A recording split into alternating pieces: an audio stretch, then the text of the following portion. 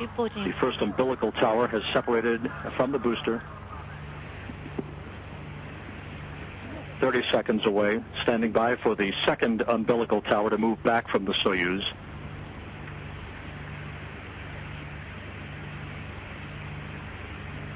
All engines ready on the Soyuz. First stage engines now at flight speed. The second umbilical tower has backed away. T minus five, four, three, two, one.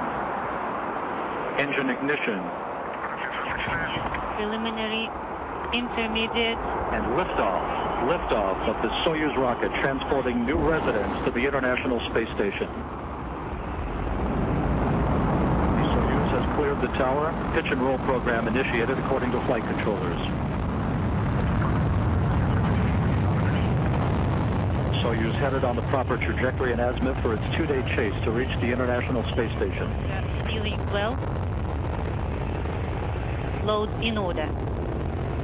Good first stage performance reported. The Soyuz delivering 102 tons of thrust from its four boosters and single core engine. Norm. Copy. Everything is in order on board.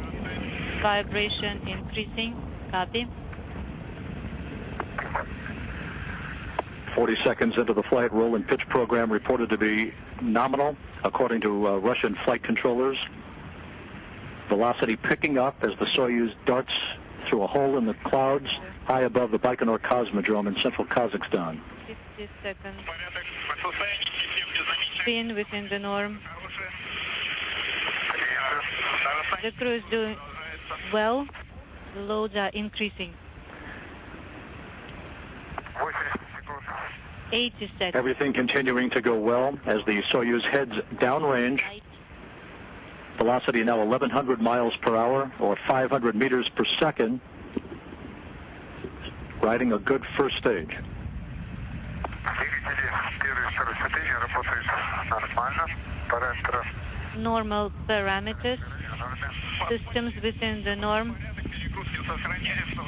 The load Soyuz Commander Oleg Kotov reporting normal parameters on board the Soyuz. Kotov uh, seated uh, in the center seat on the left side of your screen. Fyodor Yurchikhin on the right side of your screen. your role in order.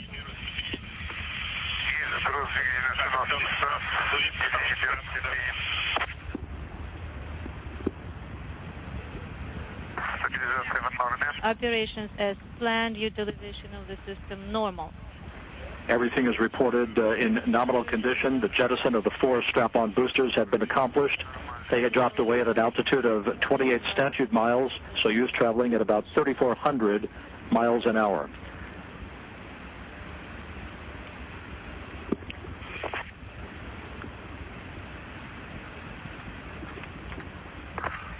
We now have had the jettisoning of the escape tower and launch shroud, a very smooth ride for the Expedition 15 crew and spaceflight participant Charles Simonyi.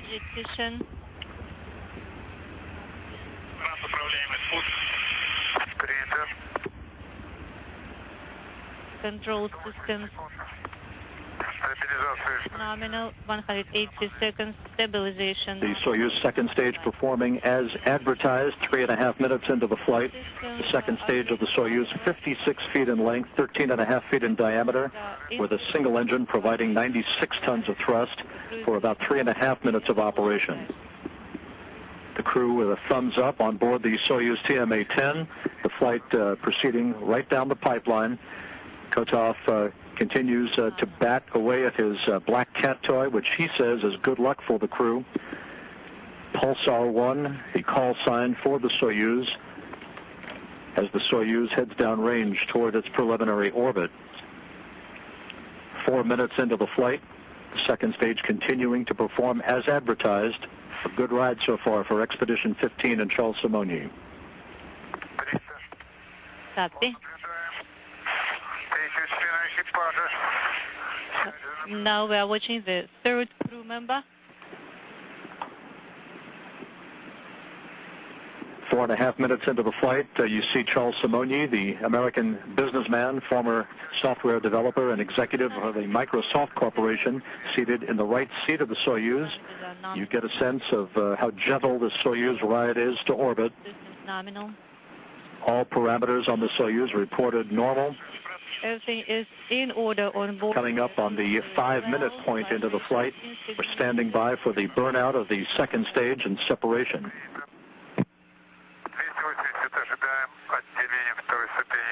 Two hundred eighty seconds, expecting separation of the second stage. Copy, course separation. Five minutes into the flight, second second stage separation reported. The four liquid fuel engines have completed their task for today, now dropping away. About four minutes of powered flight remaining. The Soyuz now being propelled by the single engine of the Soyuz's third stage, providing 30 tons of thrust, burning for about four minutes and two seconds.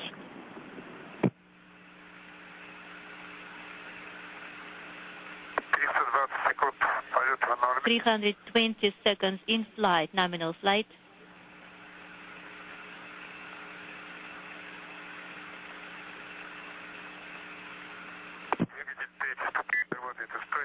Thumbs up from Yurchikhin on the right, Kotov on the left, and the center seat of Soyuz commander. Everything proceeding perfectly for the Soyuz TMA-10 at the six-minute mark into the flight. About three minutes of powered flight remaining. Soyuz headed downrange, uphill. 315 seconds in flight, nominal flight.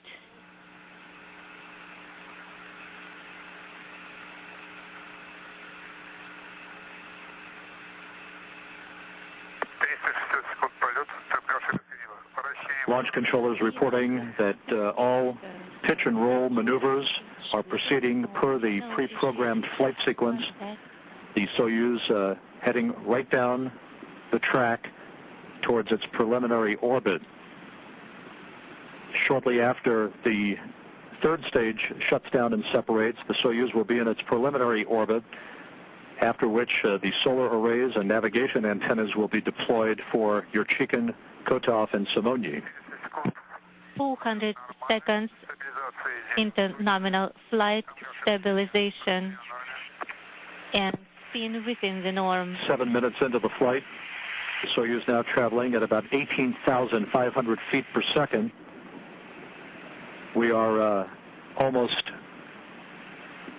we're almost uh, two minutes away from third stage separation. Everything continuing to go very normally for the Soyuz TMA-10.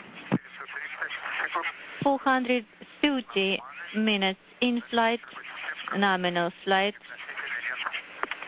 No issues with the vehicle. Aboard the International Space Station, the Expedition 14 crew, Mike Lopez Alegria on the left, Suni Williams in the center, Mikhail Tyurin on the right, watching uh, the climb to orbit for their replacement. Suni Williams, of course, will be staying on board the station with Yurchikhin and Kotov until she is replaced later this summer by NASA astronaut Clay Anderson, who will be delivered on the STS-118 mission. Again, uh, the Expedition 14 crew watching uh, the launch of the Soyuz TMA-10 and the Expedition 15 crew. This uh, crew will be arriving on Monday to begin 11 days of handover operations. Now back inside at the uh, 8-minute, 18-second point into the flight. 80 nominal. Soyuz traveling over 20,000 feet per second. Less than a minute of powered flight remaining, standing by for third stage cutoff and separation. The crew is doing well on board. Copy. 500 seconds into nominal flight.